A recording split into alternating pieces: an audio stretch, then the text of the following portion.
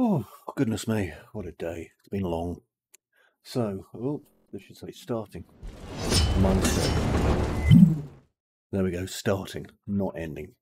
Anyway, this is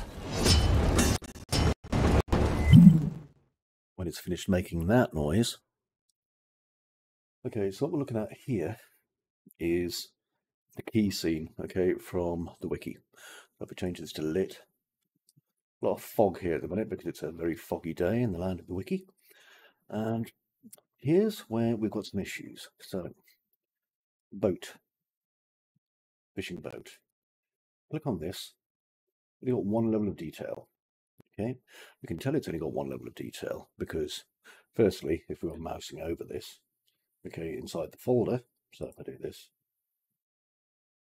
sec, mouse over it, you can see it's only got one LOD. So that's not optimal. So what I can do is I can basically give it some more LODs pretty easily. Let's open up some of these. And let me see, LODs auto, build settings, get rid of that. LOD group, that's the one I need. And I'm going to use a large prop, because it is a large prop. Yes. So now what it's doing is, it's quickly doing all the calculations it needs to do in order to turn this into a nice high LOD and low LOD. If I click now, now if we look, triangles 10,285, but as this becomes a percentage of my screen, so for example, that big, let's keep going down, down, down, down, down, down, down. Actually, I'm just going to zoom back a bit like that. You can see 5,000. Then I go back a bit more. We drop into LOD2 and then we'll drop into LOD1 all the way back here. Sorry, LOD3 rather, and that's only 1,286 polys. Great. So now what I can do is I can pick these LODs, and with three, I'll turn off cast shadow. And with two, I'm going to turn off cast shadow, because you don't need it to. It's just wasting our resources doing that. Click back to LOD auto now, and you can see there's no shadow there now, but as I get closer and closer, and closer, the shadow will kick in just very slow, unfortunately, there. Okay, so that's where the shadow is going to appear now. And that'll save me an awful lot of processing time. Now, the same again for these. So if I go to my hopper, I know for a fact this doesn't have LODs on it. So I can come down here to my LOD group and let's just say it's large. So I'll do a largish prop.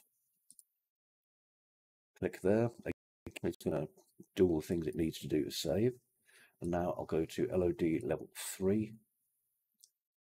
And hang on a second, LOD 3, turn off cast shadow.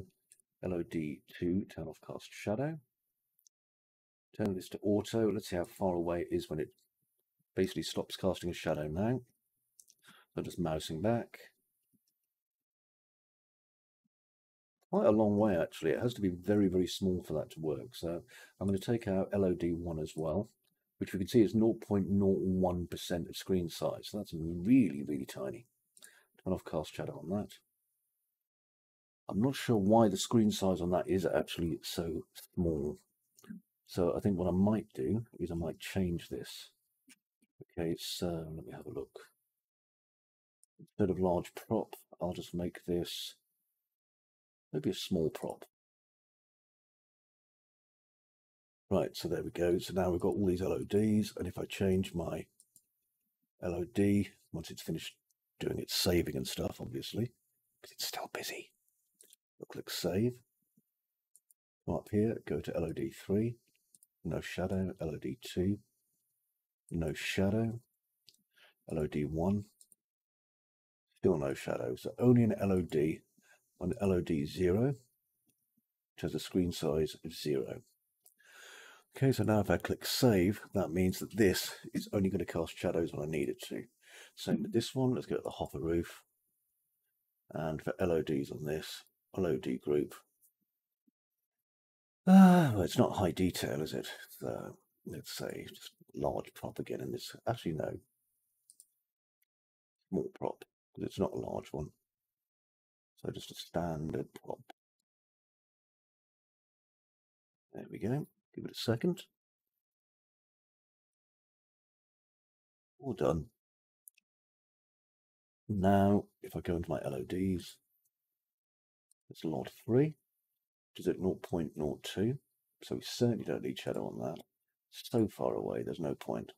LOD2, again, don't need shadow on that. And LOD1, definitely don't need shadow on that, even though it's only 0.01. Now click Save. So a couple of minor things we've done here, but you may not be noticing the difference, but trust me, I am, okay? I know this is obviously a bit like a flip book, you know, because I'm running it inside of the editor, but it is making a big, big difference. Now, another thing I can do as well is if I come over to this card track, I actually created a couple of assets to be used in this card track, one of which is this trackway. And if I check here, there's also no LODs for the trackway. So, LOD group, and again, we're going to change this to small prop, not large. That way it's going to have a different percentage on the screen sizes. And again, LOD3, which is tiny, we're going to remove the shadow from. LOD2, again, remove its shadow casting ability. LOD1, how big's that? Really tiny, certainly don't need shadows on that either. Okay, so we can close that down now. And now, not all of these are casting shadows way off in the distance either. So this is making a big difference to what we're doing. Now there's one other thing down here. And if I just find it, it's this. There we are. And this is just a cube. So really, I don't want to have to go in and do too much with this. But I've opened up cube, go to my LODs. You notice it doesn't have any. So LOD group, small prop. And now we're adding LODs to all the cubes in the scene. And I've used a few of them. There we are. Let it do its saving. And finally, all I'm going to do is just strip out the LODs or, well, whatever that is.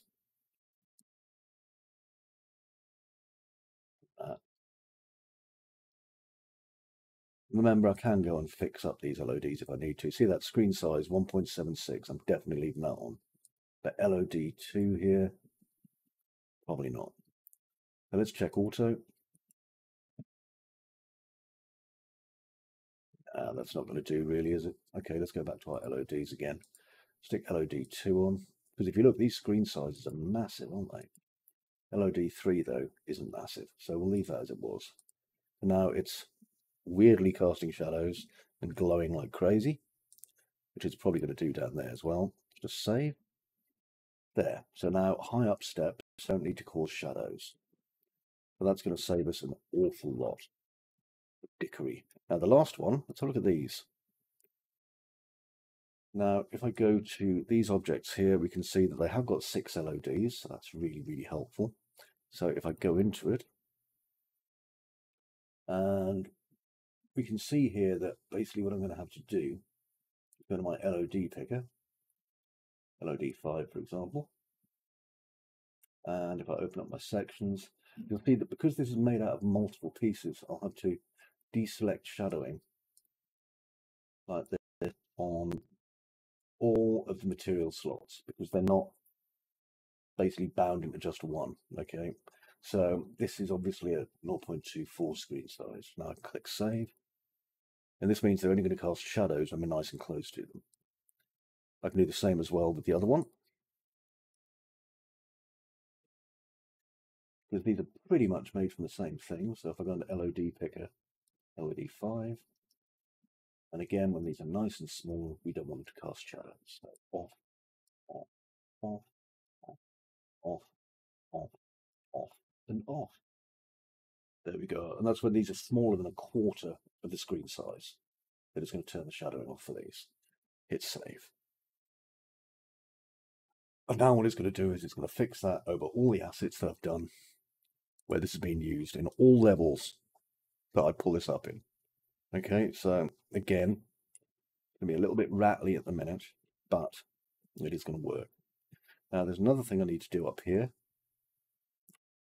And this is to do with, if I close, see things popping into their appearance. It's these. Okay, so I'm going to get my roof gear just here. And these are some things I made and never didn't really think about afterwards. Only one LOD on them though. So I'm going to LOD group these and these are literally architecture.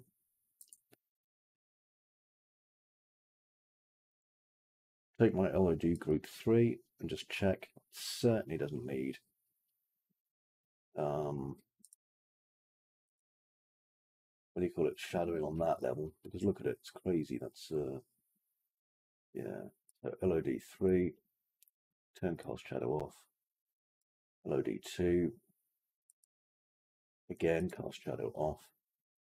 I only wanted to cast shadow when we can actually literally see it near us. Otherwise, there's no damn point. There we go. So again, this is now not going to cast shadows. Big difference. Now, finally, these ones. Now, if I was a gambling man, which I'm not, but if I was, four LODs, one LODs, one LODs, one LODs. You see here, this is all one LOD. So these are going to also have to be fixed up in order to make them work. So again, just the same as before. You can pretty much see how it's going to go. I, uh, I'm genuinely curious as to what's going on with the rock here. I quite like it though. It's interesting. M huge Icelandic rock. I think uh, something's gotten corrupted somewhere. Probably the normal map, but that is quite funky, isn't it? Anyway, enough of that. So, hope that's useful for you. Hope that helps you speed up your project a teeny weeny bit. God knows we all need it. So until we see you again, take care, much love, and uh, you know, keep on trucking. Bye for now.